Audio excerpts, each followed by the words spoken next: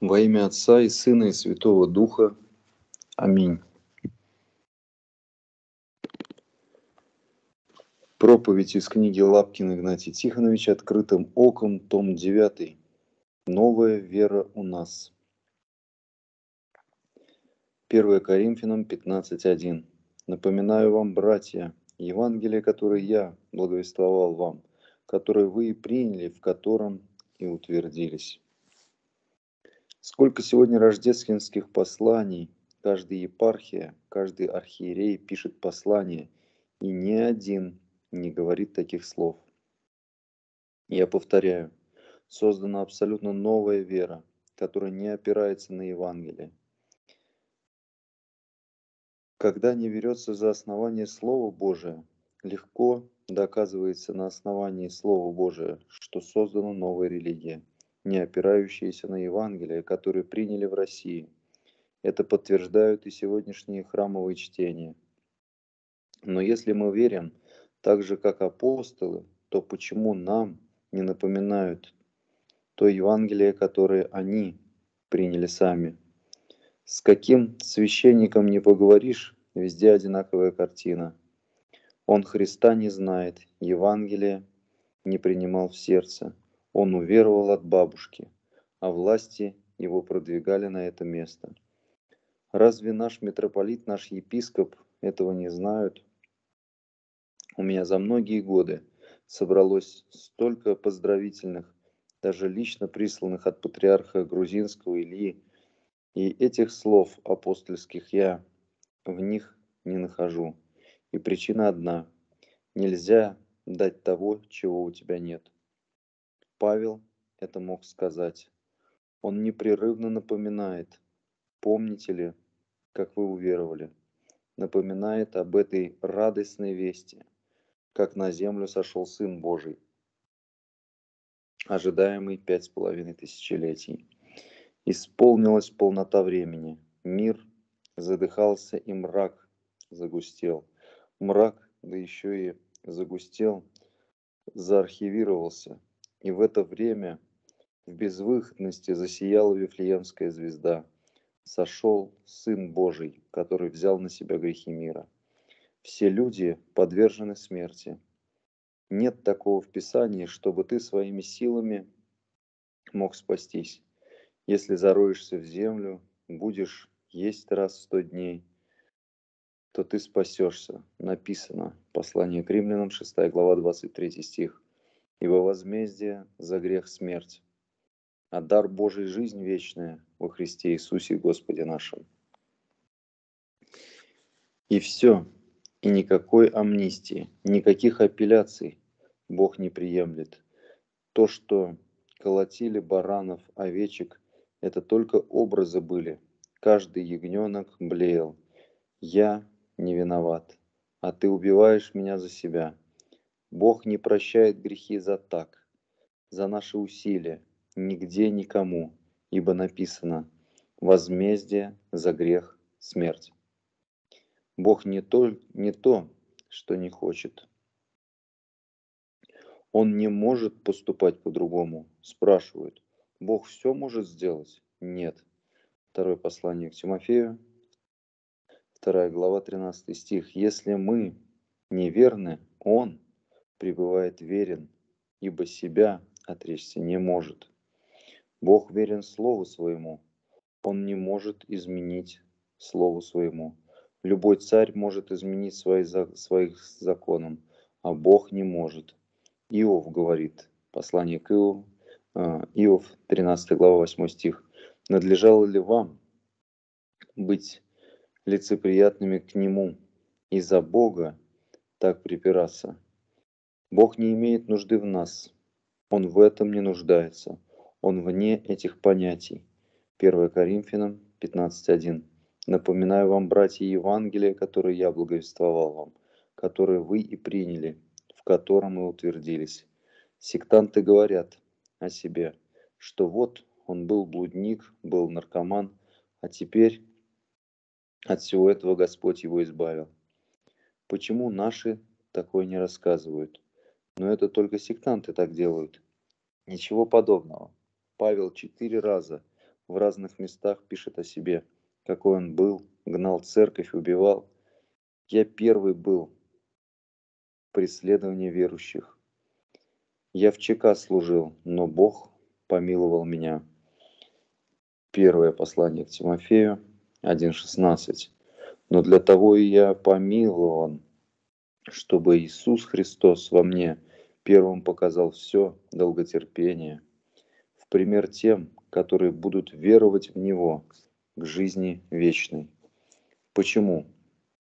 Он взял мои грехи на себя, Он свою кровь пролил. Я напоминаю вам об этом. Мы чистое учение Евангелия не приняли в России, мы приняли пещерное христианство. Основатель всего монашества был Антоний Печерский. Его благословили Афонской горой, как будто гору взяли и горой благословили. И он идет в окрестности Киева и ищет. Что ищет? Ариапак. Хм. Людей, как апостолы искали. Нет.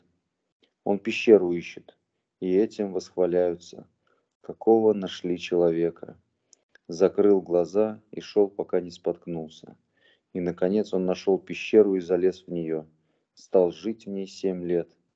И потом снова уходит на Афон. Его опять благословляют. Голос свыше был. Иди в Россию. Но почему не сказали? Иди и проповедуй в России. Благовествуй Евангелие. Ему Евангелие не дали и он взял лопату и стал расширять пещеру. Вот все наше христианство. Пещерное христианство. И этим его христианство кончилось. Дальше другие придут, Никон, Варлаам, построили монастыри. Они постригали чужую собственность, постригали и все намертво, как в масонстве. Раз подписался, выхода нет. Князь пришел, разогнал их. Жена князя спасла монахов. И это пишут сегодня, переиздают, как будто это то христианство, которое должно быть. Но Бог не давал этого. Сегодня читали Евангелие о том, как юноша ищет совершенство. Я только сегодня на этом одном богослужении уже пятый раз говорю вам проповедь. Пятое наставление. Евангелие от Матфея, 19.21. Иисус сказал ему, если хочешь быть совершенным, пойди, продай имение твое и раздай нищим, и будешь иметь сокровища на небесах, и приходи, и следуй за мною. Монахи это быстро поняли. Продай и раздай. То есть, конечно же, лучше отдай в монастырь. У одного патриарха Никона было в личной собственности 120 тысяч крестьян. Вот как лихо. Монаху сколько нужно рабов? Это наша история православия. Целой области к ногам кидали. И было за что держаться. Иосиф Володский поставил в основу, что монастыри, церкви обязаны быть богатыми. 7% нефтяных прибылей нынче и 6% от каждой папиросы патриархийные. Христос не сказал продай, раздай. Они это уцепили, но там еще дальше идет. Христос же сказал продай, раздай. Они за это уцепились. Но там дальше идет, исследуй за мною. Почему дальше-то эти слова не проповедуете? От нас скрыли Евангелие. Почему советские власти прятали книгу «Архипелаг ГУЛАГ»? Потому что она разоблачала весь этот людоедский режим. Они изгнали автора этой книги, лауреата Нобелевской премии Солженицына. От нас скрыли Евангелие, мы были во тьме, во мгле. Во мгле споткнулись об этот броневичок на Финляндском вокзале. Нельзя было мимо пройти. Стукнулись лбом об него и барахтаемся на помойке. На людобойне, на кладбище, и уже 72 года. Следуй за мною. Это не то, что иное, как призыв следовать за Христом и выполнять то, что Он говорит. Евангелие от Иоанна, 14 глава, 15 стих.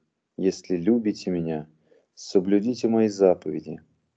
Разве Христос сказал, продай, раздай и иди в пещеру, в пустыню, в горы? Вот ведь до чего дошли.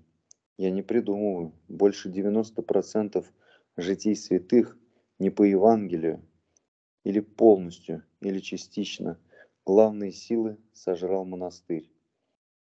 Только душа, у кого пробудилась, и скрылся в монастырь, и все, его больше нет. Только в, малень, в маленьком углу одной пустыни более десяти тысяч монахов. Император не знал, что делать. Монахи – самое непокоривое племя. Император Аркадий с патриархом Феофилом искали друзей Златоуста, братьев, долгих. Собирают армию и посылают на поиски.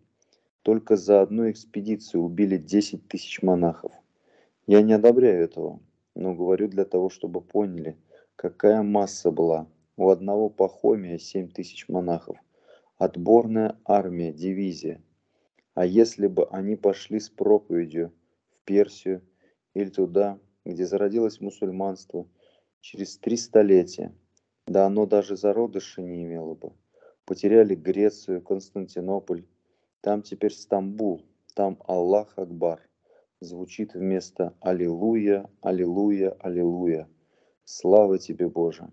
Мы сами это вырастили, выпистывали. У нас сейчас храмы построили, монастыри заложили и считают, что началось великое духовное пробуждение, а это еще один шаг во мрак, во тьму. Следуй за мною.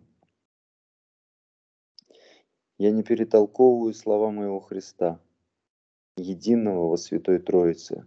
Когда Петру Христос сказал «паси овец моих, паси агнцев моих», то это значит «иди проповедуй тем, которые уже крепкие, и тем, которые только обратились.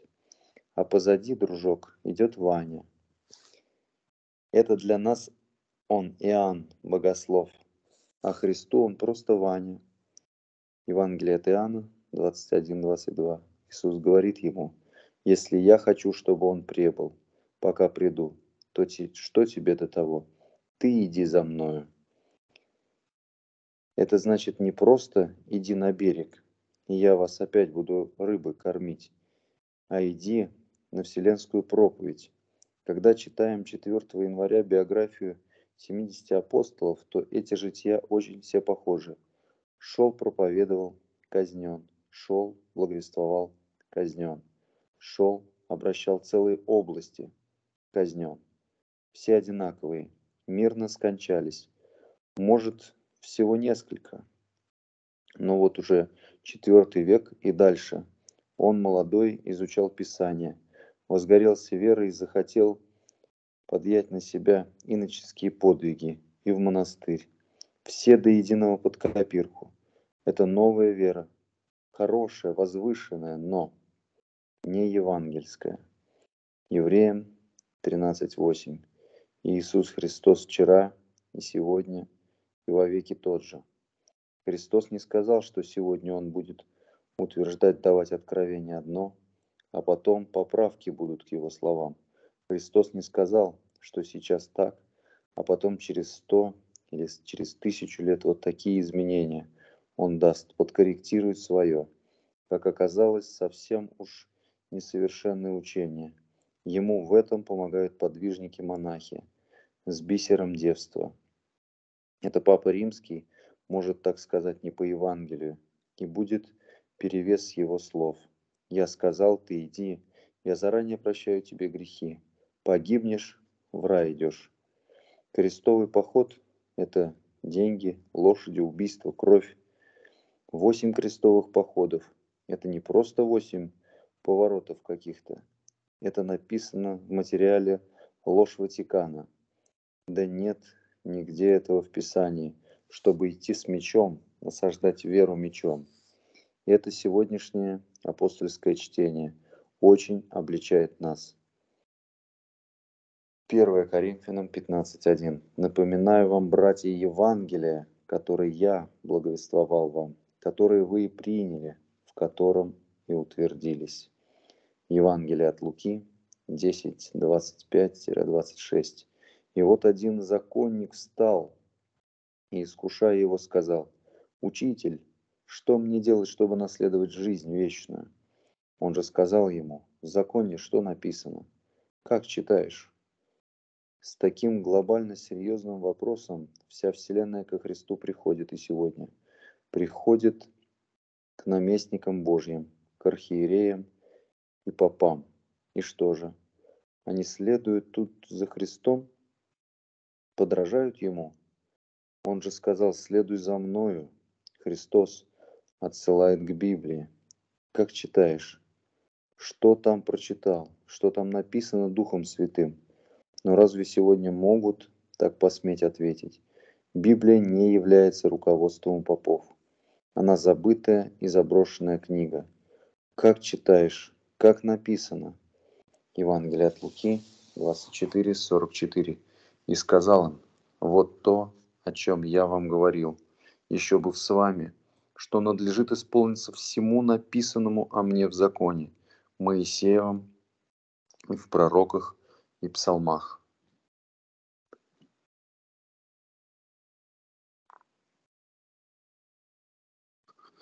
Сатана подходит с самыми проблемными вопросами, и Христос каждый раз отбивает атаку. Написано, сатана замер. Все рушилось одним написано. Сатана не ответил стихом из другого места, потому что правильное применение с правильным толкованием не требует коррективы. Написано, и все, нет ни одного возражения. Сегодняшние вопросы, которые стоят перед президентом, перед Думой, решаются там, где написано, а написано в Евангелии. Мы слышали сегодня про Ирода, который вошел в историю как великий, за то, что он строил храм почти 46 лет, довел храм почти до первоначального блеска. И все, он великий. У нас великий будет патриарх. Много храмов при нем построили, а Христос о храмах ни слова не говорил. Воцерковиться, иночество, монахи нет в Библии совсем таких слов, и даже не напоминается нам об этом. Павел мог бы многое сказать о героической древности, о победах Израиля, о традициях, а он сказал, 1 Коринфянам 15.1, «Напоминаю вам, братья, Евангелие, которое я благовествовал вам, которое вы и приняли, в котором и утвердились». Ответы надо искать там. Даже замыслив злое, эта лисица Ирод обращается, где и что написано. Стали искать и нашли. Нужно слышать голос Божий, который избирает конкретно слова для меня. Сегодня голос говорит, идите в плен, потом выходите из плена. Пророчество должно было исполниться, а мать его в Назарете живет. В Вифлееме надо родиться ему, а он не идет туда добровольно. Какая прелюдия ведет к этому? Бог дает мысль императору узнать, сколько у него подчиненных, издает указ сделать перепись, где родился, там и переписывайся. И этим указом подвигнул святую читу к Вифлеему, чтобы исполнить пророчество. Еще одно пророчество. «Воззову сына моего из Египта, а он в Вифлееме». Появляется звезда, волхвы, ирод, гонение, повеление во сне Иосифу «беги», и он бежит. А если бы он не послушал голос Божий, повеление надо было беспрекословно выполнять. Это Слово Божие. Тогда оно было устным, а мы его получили напечатанное на бумаге, переплетенное в корочки, изданное в типографии. Но оно точно то же. Отношение к нему должно быть точно такое же, благоговейное и со страхом и с трепетом, а не по-православному, не по-монашески, активно исполнять в другую сторону от Евангелия. В России – когда было крещение? Да и не крещение было, почти бичом загнали в воду в 988 году, но только в 1876 году, только через 900 лет, некоторые лишь получают Библию на русском языке, а те, которые пытались распространить ее, подвергались гонениям. Дорогая Греция, Эллада, а они-то там как? У них до 1924 года не было перевода Библии на их родной разговорный язык. Это сделал перевод, кто сделал перевод, того казнили. Поэтому и царствуют без Христа. Евангелие от Иоанна 5.44. Как вы можете веровать, когда друг от друга принимаете славу, а славы которой от единого Бога не ищете. Причина этой трагедии – самость. Бегал обыкновенный парень, звали Ванька. Вдруг его поставили в архиереи, назвали Антоний, Максим. О, как в нем заиграла самость. Не пойти, не позвонить, а уж обличить и не поминай а ко Христу могла подойти даже любая женщина и прикоснуться к Нему и получить желаемого. Христос говорит, «Следуй за мной, ходите и учитесь, натаскивайтесь». Простите за выражение, священники – это псы, собаки, не могущие охранять, любящие спать. Когда собак молодых учат, их натаскивают со старыми собаками. Те смотрят и быстро учатся на охоте. Исайя 56.10. Стражи их слепы все и невежды. Все они немые псы, не могущие лаять, блеющие лежа, любящие спать. Вот эти старые валы учили молодых телят, таких как Марк, Лука. Марк написал Евангелие от Петра, сам-то он не ходил со Христом. Петр одобрил. Лука сам написал, но по благословению Павла. Они натаскивались. У кого я сегодня могу учиться? Священник не проповедует, патриарх не проповедует. А если я взял Евангелие, то на лбу моем возжигают тавро, и на уши бирки, да и на холку лепят сектант-баптист. Мы же должны перешагнуть через все эти ярлыки и сжечь их, сжечь их ревностью Божией. Сегодняшнее рождественское чтение побуждает нас к тому, чтобы Слово Божие, понятное, открытое, распространялось для других.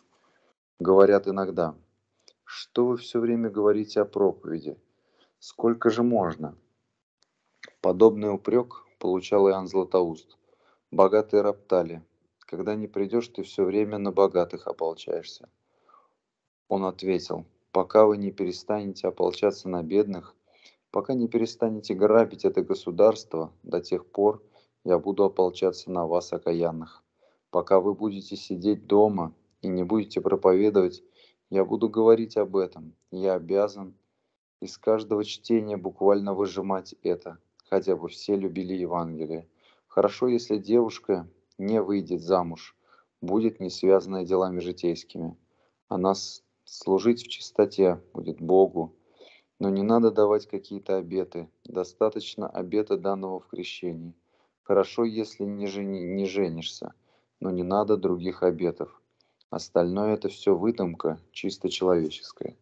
Я заговорил об этом и знаю, какая будет ненависть дымиться в мой адрес. Эти 40 киллеров может, уже ножи точат. Я прямо говорю, что монастыри такие не нужны. Монастыри нужны в другом виде. Для престарелых, подкармливать, молодых учить, убежище для нуждающихся. Поэтому сегодняшнее евангельское чтение еще раз побуждает любить Евангелие. За стол не садись утром, пока не почитаешь Евангелие. Тем более есть начитанное на пленке – и вся Библия уже на компакт-дисках. И на пленках есть у нас у многих. Включи и слушай. Ешь то и другое. Милостивый Господь собрал нас для того в этом храме, чтобы мы возрадовались, что воскресший Господь зовет следовать за Ним. И то, что называют жития святых, надо назвать по-другому. Жития людей, которых люди назвали святыми. Как ходят сейчас такие свидетели Иеговы. А я говорю, что их надо называть лжесвидетели под именем Иеговы. Так и здесь, святыми-то мы их назвали. Я им каждый день молюсь, я православный, Церковь признала, и я признаю. Но внутри я знаю, что на каждом шагу надо бить в колокол, что неправильно, не по Евангелию, не по Евангелию, не по Евангелию. Да хранит нас Господь в истине, которую Он нам открыл. Аминь.